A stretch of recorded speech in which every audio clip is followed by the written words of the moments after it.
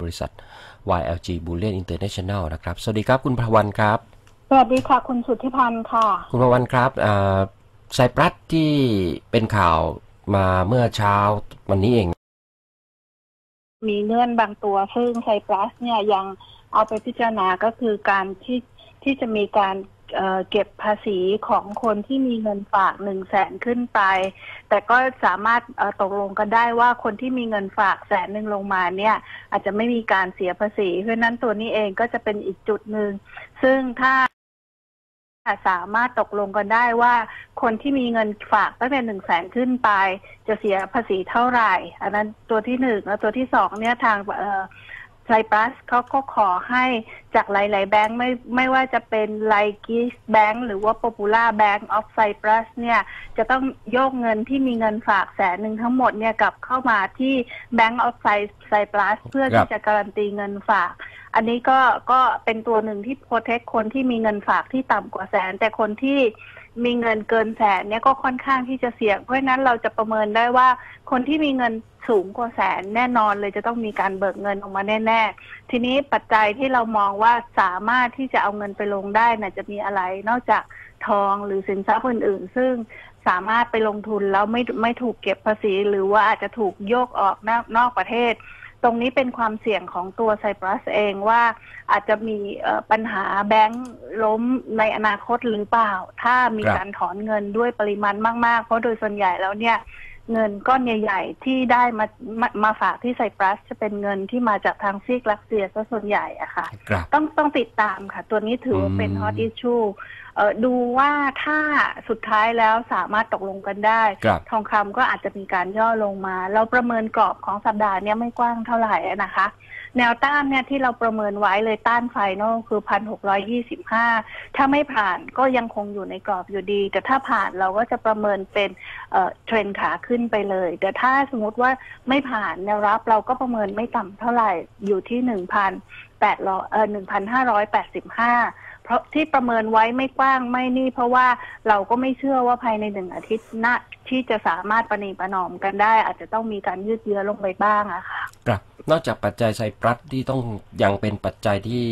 ยังเป็นประเด็นต้องจับตามองแล้วยังมีประเด็นอื่นๆอีกไหมครับ ทางด้านเศรษฐกิจสำหรับวันนี้เนี่ยจะมีการแถลงข่าวเอ่อเอ่อจะมีการแถลงแถลงการของประธานเฟดนะคะเอ่อประมาณสักเที่ยงคืนสิบนาทีเนี่ยไป ไปเหมือนกับเป็นเป็นการประชุมไปที่อังกฤษนะคะ ก็อาจจะมีเอ่อคุยกันเรื่องนโยบายทางด้านการเงิน แต่เชื่อว่าตัวนี้เนี่ยอาจจะไม่มีไม่มีผลเท่าไหร่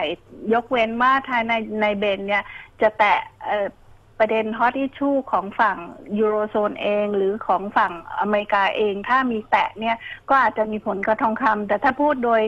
ทั่วๆไปคงคงประเมินว่าคงจะไม่มีผล แต่ที่น่าน่าจับตามองก็คือวันพฤหัส จะมีการเอ่อเอ่อประกาศตัวเลข GDP ครั้งที่สี่เป็นครั้งสุดท้ายเนี่ย ครั้งที่แล้วประเมินไว้ที่จุดห้าผลออกมาที่จุดหนึ่งก็ก็ทำให้กดดันให้ทองคำลดลง ครั้งนี้เนี่ยประเมินอยู่ที่จุดสี่ก็ต้องดูค่ะว่าผลออกมาจะเป็นยังไงนะคะ นอกจากตัวนั้นก็จะมีผู้ขอรับสวัสดิการการว่างงาน เพราะฉะนั้นเนี่ยสัปดาห์นี้มีไม่เยอะค่ะ มี สามตัว แล้วก็ประเด็นไซปัสอีกตัวหนึ่งที่จะต้องจับตา เพราะว่าประเด็นไซปัสเนี่ยไม่สามารถประเมินได้ว่าจะมีแถลงมีออกเมื่อไหร่ค่ะเราให้คำแนะนำสำหรับนักลงทุนนักลงทุนในสัปดาห์นี้อย่างไรดีครับ คุณพวันครับ คือกรอบสัปดาห์นี้เนี่ยนอกจากแคบแล้วก็มีความเสี่ยงไม่ว่าจะเป็นการดีดขึ้นแรงๆ หรือดีดลงแรงๆ เพราะว่าถ้าประเด็นไซปัส ประเมินจบหมดไม่มีปัญหาอะไร โอกาสที่ทองคำจะย่อหลุดพันถ้าหลุดพันห้าร้อยแปดสิบห้าก็ต้องปรับมุมมองเป็นเทรนขาลงอีกครั้งหนึ่ง แต่ถ้าเบรกพันหกร้อยยี่สิบห้าขึ้นไปก็ปรับเป็นมุมมองเทรนขาขึ้นได้ แต่ถ้ายังคงอยู่ในกรอบก็คือที่แนวรับก็ค่อยๆ ทยอยซื้อไป ที่แนวต้านก็ทยอยขายไป เราประเมินรับแรก ๆ อยู่ที่พันหกร้อยพันหกร้อยเก้าสิบ แล้วก็พันหกร้อยแปดสิบห้าส่วนแนวต้านเนี่ยอยู่ที่วันนี้น่าจะต้านแรกอยู่ที่พันหกร้อยสิบห้าต้านถัดไปอยู่ที่พันหกร้อยยี่สิบแล้วก็ยี่สิบห้าค่ะครับถ้ามองทิศทางนี่แนวโน้มไปไซด์เวย์ไปทางไหนทางทางบวกหรือทางลบครับ คือถ้าจับประเด็นตามตามตัวเลขเศรษฐกิจ เรามองว่าน่าจะเป็นลบ เพราะว่าไม่ว่าจะเป็น GDP ที่จะที่ของอเมริกาค่อนข้างที่จะเอ่อเอ่อดีขึ้น หรือว่าไม่ว่าจะเป็นของทางเอ่อ ตัวเลขการจ้างงานอะนะคะ ครับ น่าจะเป็นลบแต่ต่อกับทองคำแต่ประเด็นไซปรัสเนี่ยถ้าถ้าไม่สามารถตกลงกันได้อาจจะเป็นผลทำให้ทองคำดิดตัวขึ้น เพราะฉะนั้นเนี่ยสัปดาห์นี้เอ่อประเมินฟันธงไม่ได้ยากครับนิดนึงเพราะฉะนั้นต้องคอยจับตา ต้องดูบาทด้วยบังครับค่าเงินบาทของเราอีกเป็นปัจจัยที่เข้ามากระทบด้วยนะครับ บาทก็เห็นค่อยๆค่อยๆอ่อนขึ้นมาแบงครับก์ชาติก็อาจจะอืมมีมาตรการอะไรเข้ามาครับเสริมทำให้ทองเอ่อบาทเนี่ยปรับตัวขึ้น เพราะจากสัปดาห์ที่แล้วเนี่ยไปลงโลอยู่ที่ 29.0708 นี่ก็ดีดขึ้นมา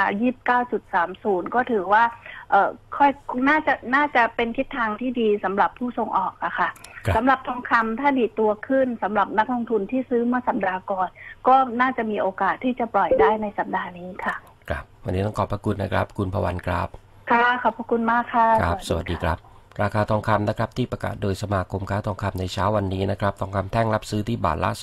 22,250 บาทนะครับขายออกที่บาทละ 22,350 บาทนะครับราคาไม่มีการเปลี่ยนแปลงนะครับเอาละครับช่วงนี้เราไปดูราคาสินค้าเกษตรนะครับ คุณเศรษฐพัฒน์ชูบุตรจากตลาดไทยครับ